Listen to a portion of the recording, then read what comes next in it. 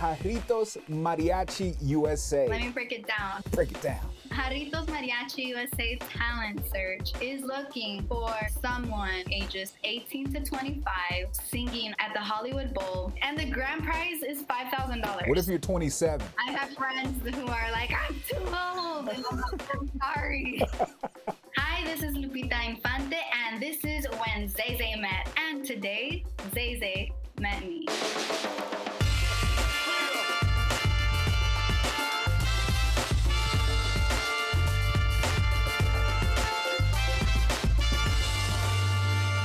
¿Qué pasa con mi gente? I am Zay Zay, and welcome to When Zay Zay Met.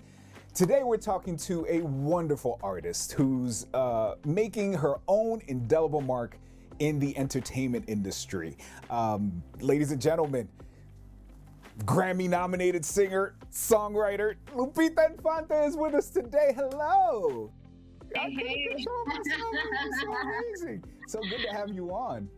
Yeah, likewise. It's great to be here and just excited. Oh my gosh, this is so cool. Okay, let's start from like the beginning, if you don't mind. Okay, let's Okay. take it back. You're a California girl, right? That's right. Yeah. Tell me what it was like for you uh, growing up. Um, very, I think I would say average. I mean, yeah, I mean, nothing special. You know, went to school, um, you know, did my thing. Um, but of course, you know, growing up on the music side, um, I would always see my dad like on TV and on movies, and also my grandfather, um, who is Pedro Infante um, for people watching.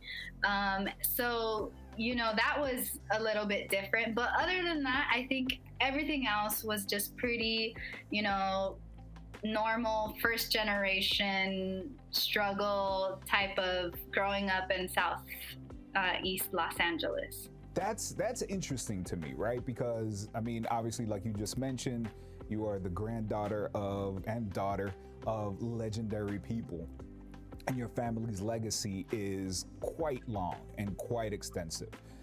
It's actually very surprising to think about you having grown up normal, right? and, and and so then the question begs, what's normal for you? right? I mean, it, it was um, so my mom is kind of like my was like you know kind of a single parent because my dad was often you know on the road or in Mexico, you know, doing his thing. And um, so my mom was like a working mom. She worked for the um, school district, the LA school district, and um, so you know, um, I ate McDonald's all the time because she was too, you know, tired to come home and cook, that type of um, and you know, I think my mom just tried her best to, because my mom is from Zacatecas, so you know, she came to this country and um, has worked really hard to to really, you know, have something for herself and then give me whatever she could. And she she always thought you know education is very important. I need you to do good in school even though i school wasn't really my thing but i finished. I finished.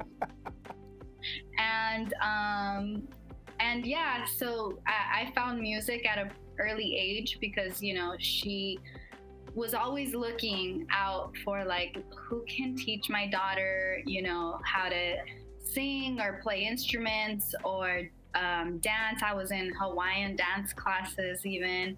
Oh So I was I was busy. I was a busy kid. Um, and um, yeah, so you know, we to me, um, so we lived in Huntington Park for a little bit. Okay. And then we moved over to to Downey, the Mexican Beverly Hills, what they Ah, fa, fa, fa. and uh, so I kind of been in Downey ever since, and um, yeah, I love it here.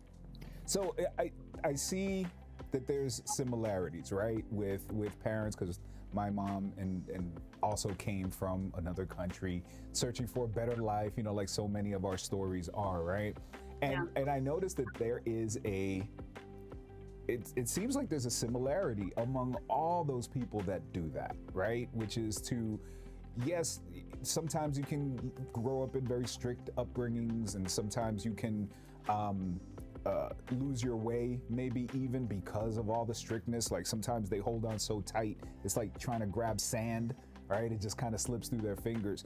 But one thing I do notice is that it's very common that people like our parents, our moms, right? Because I also grew up in a single parent, are very nurturing when it comes to uh, uh, when it when it comes to their child embracing the artistic side of what Yeah. they do, right?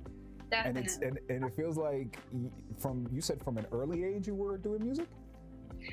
Yeah, I was um I think, you know, by the time I was 10 years old, um, I knew how to play the guitar and sing and I was like in competitions in my community and you know, I was performing. So so yeah, and my mom was very nurturing of of the arts and I think she knew, you know, that there there was something there and um and you know, I, I think it helps you develop too as just a, a, a human being to be in the arts and For sure.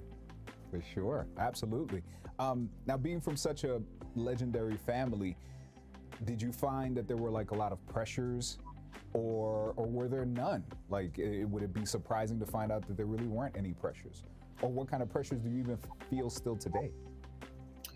I think, um, you know, for me, because I, I grew up here, whereas I have siblings, half brothers and sisters who grew up in Mexico. So I think their experience was actually different. But growing up here and in Los Angeles, I feel like I was pretty under the radar and like kind of free of like, you need to be a certain way because you are like the granddaughter of Pedro Infante. So I, I, I think at, like you know at home everybody knew that I was singing so everyone wanted me to sing at every party of course. Like a ver mija you know can, you know canta. So it was that kind of thing. But um like in school and in the community I think it was like really really chill you know? Whereas even my I have like a half brother and his name is Pedro Infante the third. And then I knew he would like even get bullied like for you know having the same name as uh it, you know and just people just knew that they came from from that line and I think here I kind of was able to get away with just you know under the radar kind of Yeah. kind of life yeah Yeah, and it and it helps because it allows you to flourish, right? As opposed to feeling like you're kind of always under that microscope, um, or being judged all the time, right? When you're encouraged, you can flourish. That that is so true. Because once I did start singing like more in the public and and I'm talking about you know like a few years ago and now I think that's when people and the pressure is more present and there's expectations and um, that kind of thing. But you know I still you know have fun with it. And I always just be my you know try to be yourself that's the only thing that i can i know i can do really well so sure. Um, when you went to college, you studied ethnomusicology, right? Yeah, that's right yeah and um, and you would think, okay, as as you know, maybe a, a, a an, an arts nerd or something like that, that you were, and especially having been singing since you were, you know, ten years old, one would think that you would just continue in the arts, right? That you would take vocal lessons and you would, you know, take performance lessons and performance arts. But it's interesting to, to it was interesting to read that you were really into doing the research about your culture, or at least the cultural music that surrounds Yeah. us all the time, right? About you know Latino music, the machismo, and all that stuff. Um, tell us a little bit about that, and then tell us what you think was probably the most surprising thing you learned about our music. so when i i was a, a community college student and it was time to transfer and i did apply to different schools and i, I did have the option to go into performance um, and then ucla accepted me as an ethnomusicology you know undergrad so um, I got so excited to just, you know, UCLA, and my mom was like, you know, just so proud. And I was like, I think I'm going to take this road. And I had taken some classes like world music and some anthropology classes. And it was really interesting to me just, you know, the culture and the history and how political events influence. And I think even my grandfather being such a phenomenon in, in the time that he grew up uh, and in the time that his career flourished in film and how Mexican film had this golden age, all of that was very interesting to me, and how it was sort of you know, mariachi music was kind of funded in a way by the government um, because we needed like this national identity and we needed to unite the nation. And even his image was, you know, part of that whole culture, that building of that culture. And um, I think there is some stuff that happens, you know, just organically, like even the mariachi ensemble and how it's um, um, evolved. But there was also, you know, some strategic things that were happening too um, that also shaped the way the music that we hear today um, sounds sounds like. So all of that to me was very interesting. Of course, the machismo thing, um, because you know I'm a girl, I'm an independent woman. My mom has always, you know, has been that kind of lady, and like you can accomplish anything, follow your dreams, you can do it. Si se puede, mija, you know. So, of course, you know, studying that was also really interesting to me because I, I, didn't grow up with that kind of figure um, per se. My dad was also very like pursue your dreams and you know do what you want to do. You can do it kind of um, attitude. So um, I always felt that you know was interesting how in our culture it does really affect our music and the way we interpret songs and and even this you know this persona of you know the macho and the borracho all of that i love it and it's so interesting to me. Um, so yeah i just took a deep dive and i studied as much as i could researched as much as much as i could and um, it's something that's still really interesting to me to this day. It's fascinating. It really is. Is it something that you think um, influences your musical choices Oh, a hundred percent. Yeah. Yeah. And then the way, you know, that we make music and even other artists around, um, like even this past weekend, we were in Chicago on tour with La Santa Cecilia. So, you know, that was really cool. And um, their lead singer, La Marisol, she's just an incredible powerhouse singer. And just listening to the, the themes of their music and how they're a little bit more, you know, um, like socially conscious and, and thinking about that and thinking about, you know, the music I do too. And, and um, it, it, I just I can get so into it. But it was it was um, such a good experience too, because our music comes in like so many different shapes and sounds and styles and um, and it's all a reflection of who we are and like what we're going through and um, and the things that you know influence us like political movements or social movements. So it's all it's all really beautiful. And um, for me I, I know the mariachi tradition really well. So i think i kind of play into the breaking of some of those norms and rules that are set up in a respectful way um, that is to me very playful and um, and fun.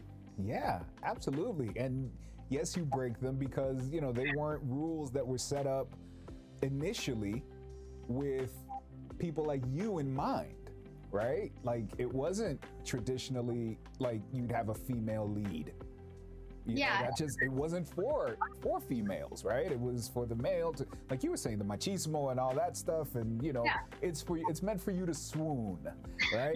Not necessarily for you to be, you know, the one in power, the one in charge. Exactly, and yeah. you know, you're doing it. You're doing it. I mean, well. Well, Yes. you are Grammy nominated. I mean, you're doing it well. Thank you. You're Yeah. absolutely welcome.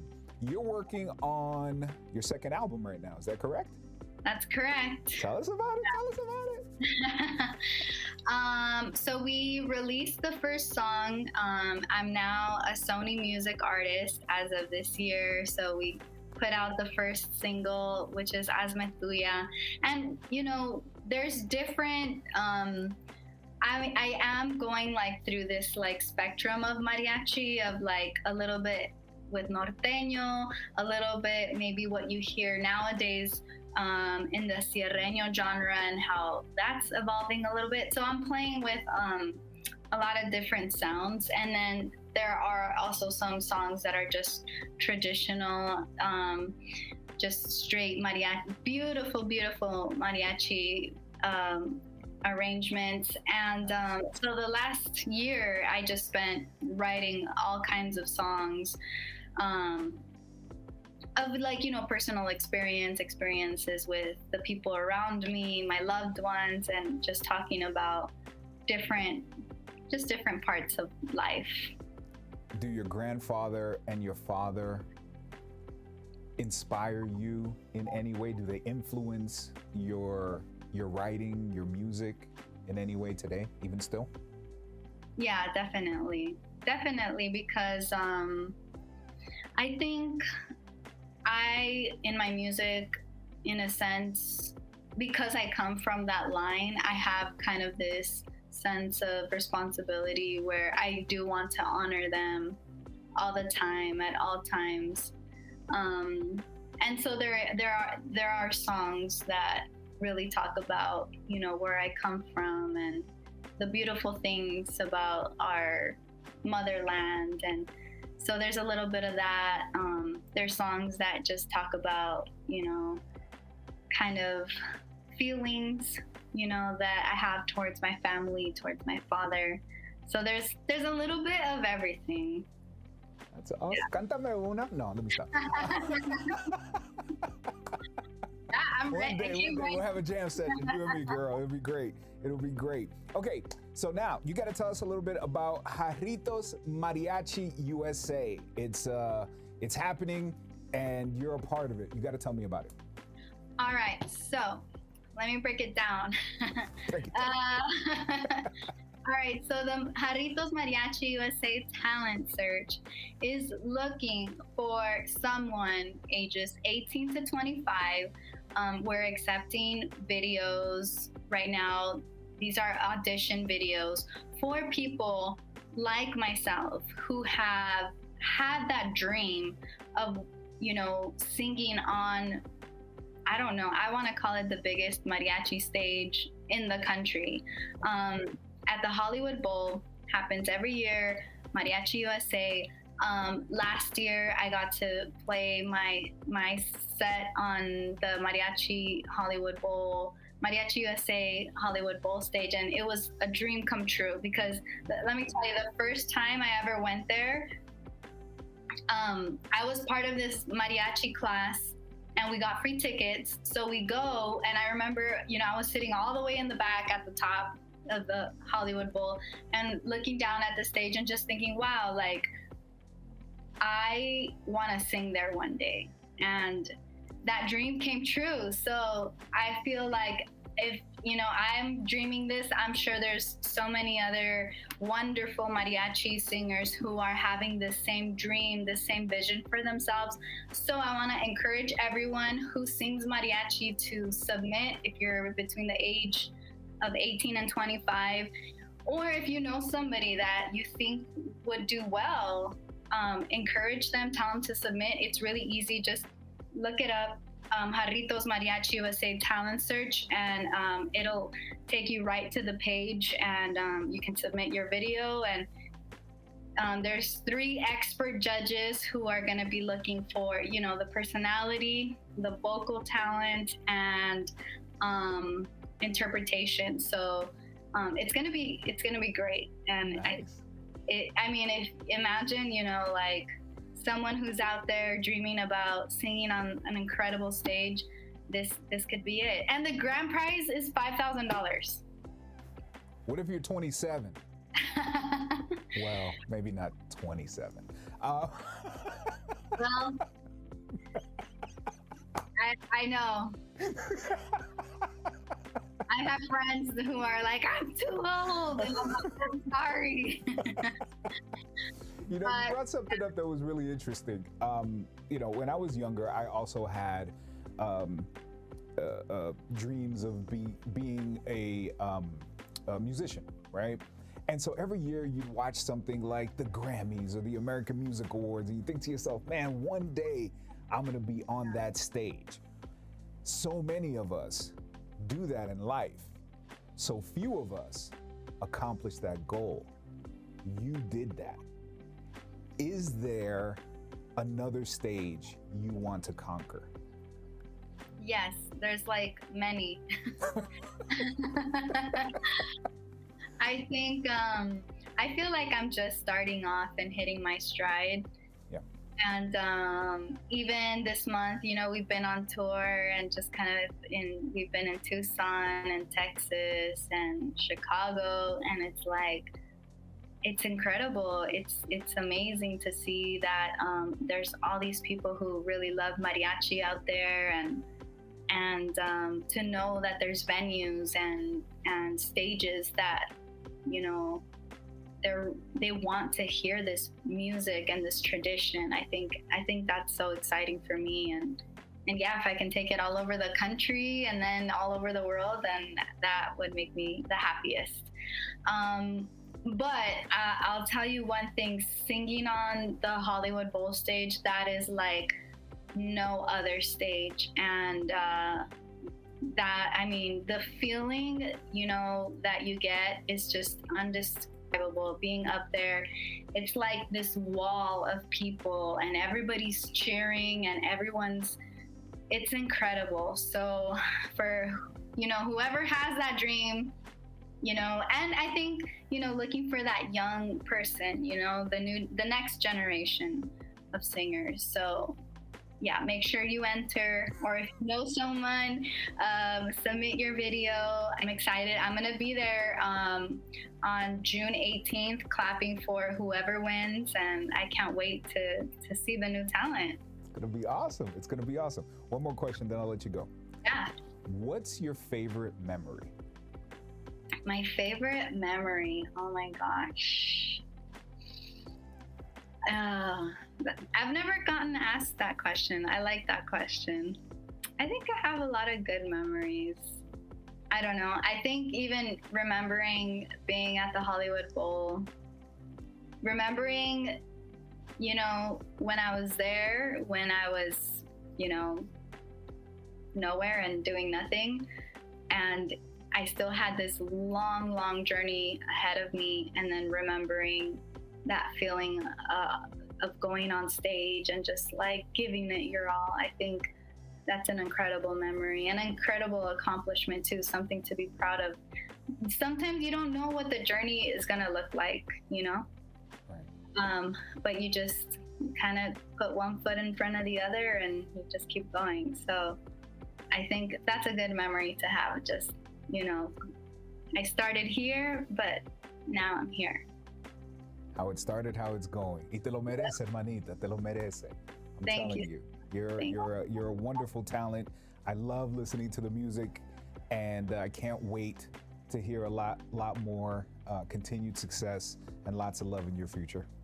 Thank you so much. Thank you, thank you. Thank you all so much for watching When Zay Zay Met. Don't forget to like the video, subscribe to the channel, and hit the bell to be notified when we upload more conversations with celebrities and other interesting people. Now, if you'd like to see your favorite celebrity on the show, it's simple. Just tell us who that is by leaving us a comment down below. We hope you enjoyed today's episode, and we'll see you on the next one. Hasta la próxima. Lo quiero del corazón.